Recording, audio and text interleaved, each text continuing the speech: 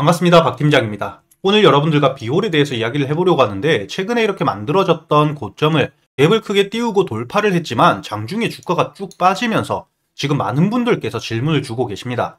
이 부분에 대해서 제가 여러분들에게 앞으로 어떻게 대응을 하셔야 되는지 대응 방향 확실하게 이야기해 드릴 거고요. 매일같이 제가 보내드리고 있는 시가 매수 단타 종목들 오늘도 솔트룩스와 LS 네트워크스 이렇게 매수 진행해서 장중에 27% 22%까지 슈팅이 나왔기 때문에 이 부분에 대해서도 제가 투명하게 보여드리고 여러분들이 다음 주 월요일부터 당장 100% 무료로 참여하실 수 있는 방법 모두 이야기 드릴 거기 때문에 영상 끝까지 시청을 하시고요. 우선 비올 지금 보유하고 계시는 주주님들 오늘 하락에 걱정이 참 많으실 거라고 생각을 하는데 너무 걱정하실 필요가 없습니다.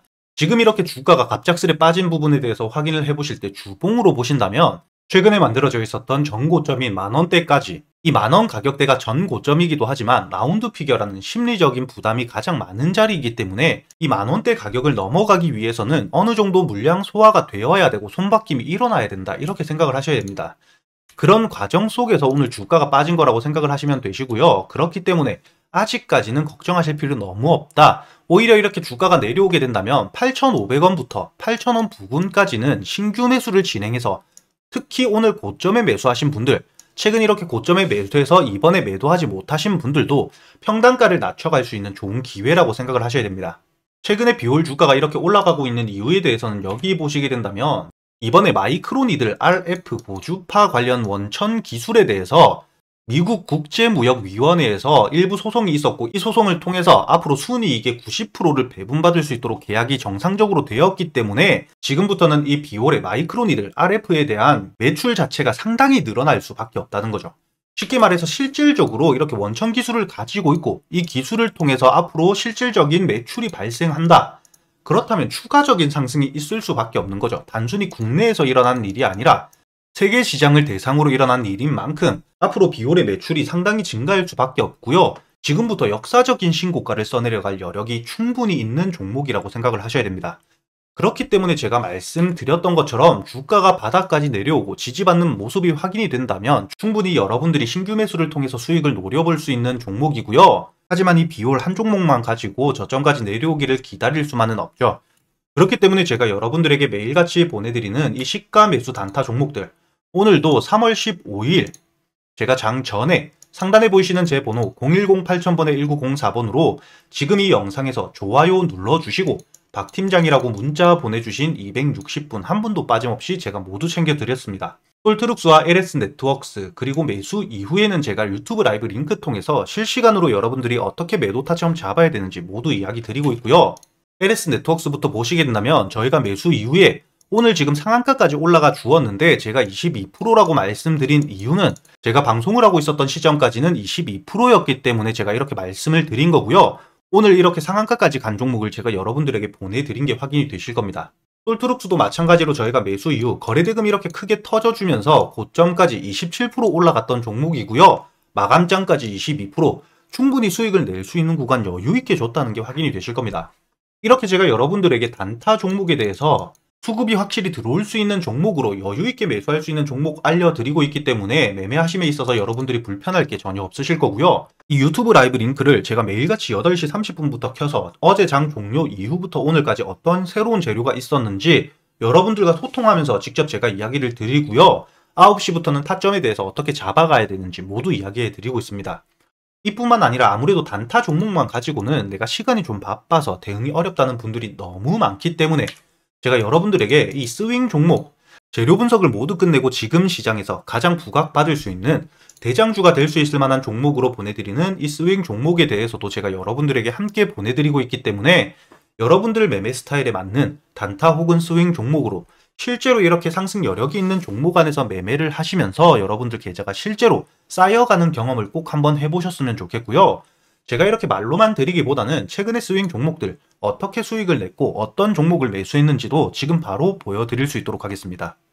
그러면 저희가 매수했던 스윙 종목들 최근의 수익을 어떻게 냈는지 살펴보시면 여기 보시게 된다면 2월 5일에 알테오젠 8만원에 매수해서 목표가 15만원까지 여기 시간도 보시게 되면 제가 장 전에 8시 42분에 여러분들에게 문자 보내드린 게 확인이 되실 거고요.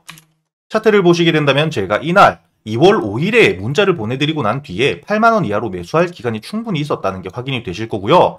이렇게 매수가 진행된 이후에 8만원부터 15만원까지 80% 넘게 수익을 내고 나왔다는 게 확인이 되실 겁니다.